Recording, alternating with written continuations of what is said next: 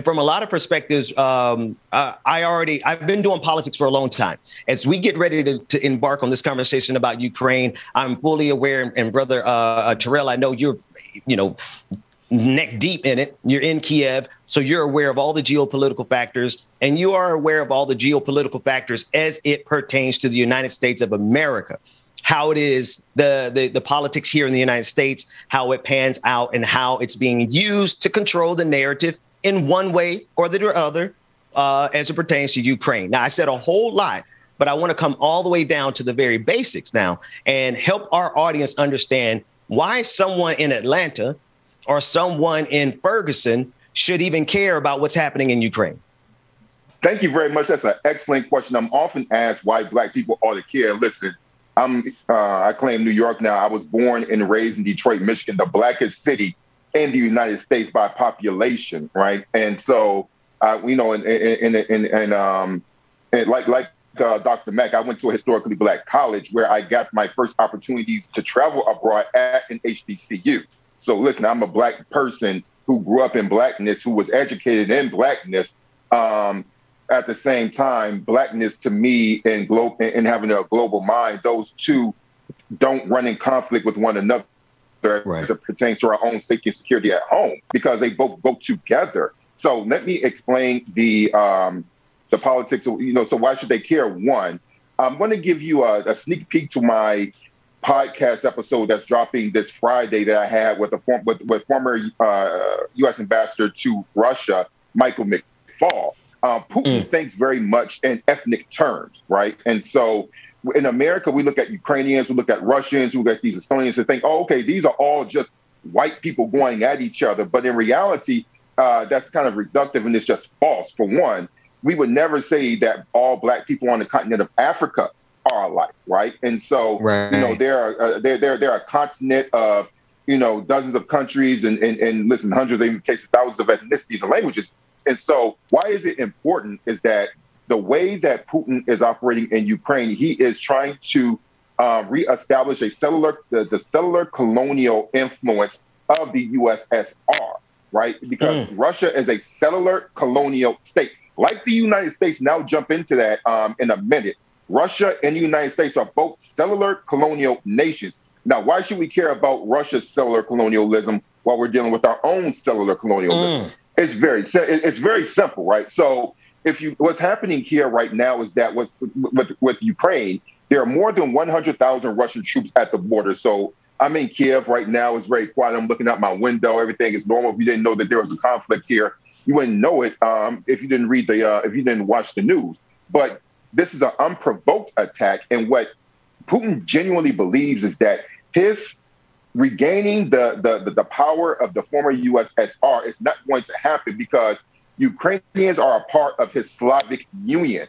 So he thinks very much in ethnic terms, and he feels like if these people, the Belarusians, the Ukrainians, and um, and they're the Russians are not reunited, then that will be a failure on his part. Now, going back mm. to what McFaul told me last night during our conversation, he said during a meeting, because he's had a number of meetings with Putin, he said that Putin was looking at him and Biden and, and some other, you know, the um, the top foreign policy people during Obama's era. He said, Putin said, you know what? And he looked at his skin. He did his skin just like he, Putin took his finger and he ran his finger across his face. He said, you know what's wrong with you Americans? You all think that we think like you. Mm. You all think that we are the same. And what Putin was saying is that we're Slav, we're not white. And so he mm. so so so the thing about Ukraine why it's important is that they treat first of all Ukrainians like second class citizens, and it's all written and inculcated in the way that he speaks about this nation, little brother. Um, and it's like little something that steps Ukrainian down to a second throttle. And so the question is, as a, as, as a world power in the United States and as citizens, how much of this type of behavior from the mm. Kremlin do we want to how how best do we stop that diplomatically? Because yeah. if he has this ethnic outlook, because this whole thing is we're going to predicate an unprovoked attack against Ukraine. What how does that mean that they can't spread beyond Ukraine and maybe not militarily, but through cyber warfare or et cetera. So it could very much hit the United States because the context of how Putin is attacking Ukraine could also impact us in the United States. Mm, mm. Brother Mack.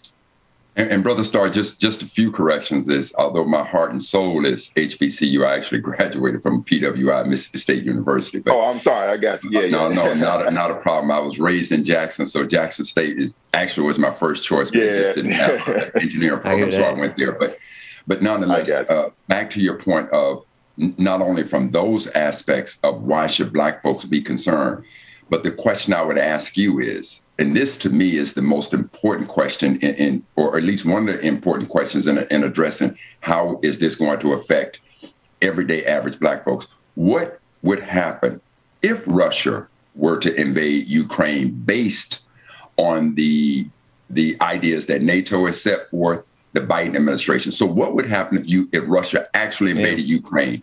And, and when i ask that question i'm saying from an ally standpoint everybody chooses sides it's clear to me that China is going to side with Russia. I would think that, well, it's clear to me Germany would side with Russia. I believe China would side with Russia.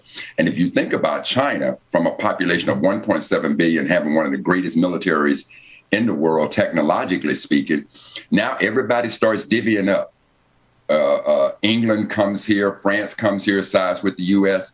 But basically, could we be looking at World War III? And if something like this happens, and you have this major geopolitical world event taking place from a standpoint of how would this affect black folks trust and believe wall street would crash. And wall street's going to crash because wall street is based on profits. And if companies can no longer do business there are going to be layoffs. And we all know from a historical perspective blacks have been the last hired and the first fired so That's trust right. and believe if Russia were to invade Ukraine, is it plausible that the scenario that I'm, I'm, laying out to you is that possible about who would side with Russia and what could be the possible worldwide mm. implications of it? Mm.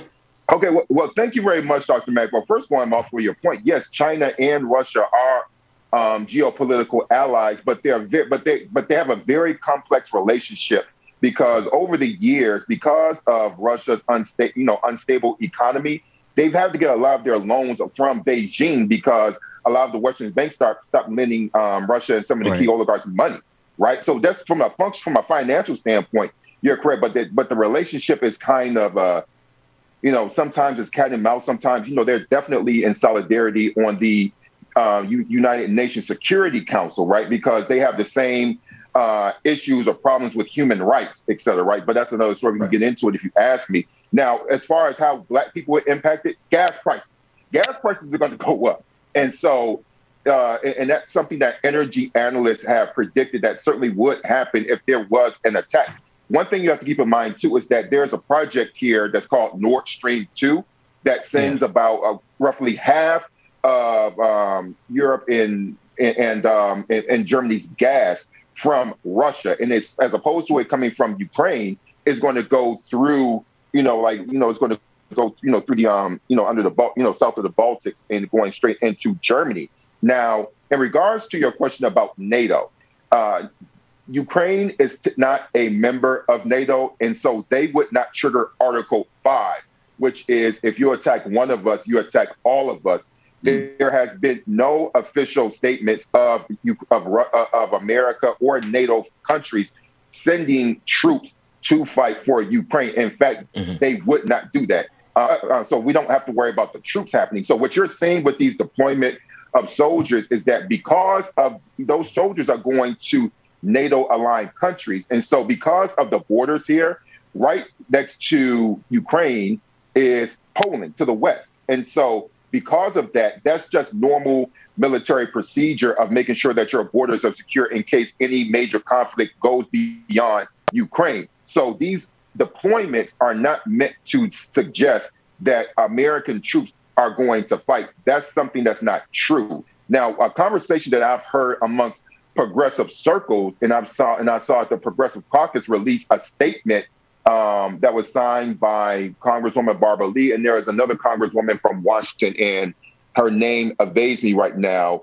Um, so I think the questions about why we should care is does America, as far as a progressive stance, do you have a moral responsibility to provide arms to a country that aspires to be a part of the EU, that aspires to be geopolitically aligned with you, arms to protect itself? That's the question. And so some people would say that those um, that the offering of, of, lethal weapons would escalate the situation. Well, the reality is that the Russians have been here for eight years, right? So Russia colonized Crimea, Luhansk, and the Donbass regions, and so the, the so the escalation has already taken place. And so mm. I think the real question is how should America, if you're thinking about it from a progressive standpoint, how should you morally respond without troops? And sanctions are a part of that. But I can I can go more into that um, if you ask me. I just yeah. want to stop. But, but, but, brother Stark, what, what my question yeah, is, yeah. what, what would the U.S. do if Russia, because as you stated, they have hundred thousand troops sitting there. They're beginning to bring in the infrastructure that suggests strongly that there is going to be quote unquote an invasion. So if Russia were to go into Ukraine, what would be the U.S.'s response? Would it be with force? Would it be purely diplomatic? And if we responded with force, trust and believe, you know, I am of the mindset that then sides are going to be taken. And so that's mm. my question. What would what would the U.S. Oh, okay, if it. Russia went into Ukraine?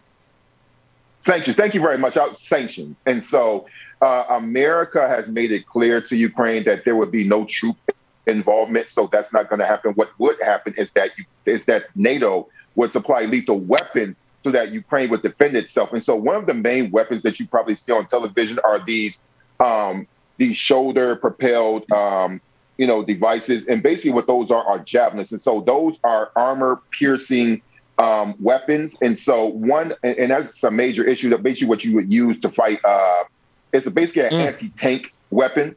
And so so the, wow. the, the, position from the United States is that, and, and, they're very deadly. I mean, if you see, if all you have to do is Google javelins, on um, yeah. Google Javelins yeah. on, on, on YouTube, and what you will see is that they're very mobile, and then you can just shoot at a tank, blow it up, and then you can and then you can seek shelter. So it's a very efficient tactical weapon. And it, and, and, and, wow. and, and listen, the Russians don't want to see that. And so that's the question. They will provide arms, not necessarily fight. Now, going back to the sanctions, uh, there are two ways that the sanctions will be deployed.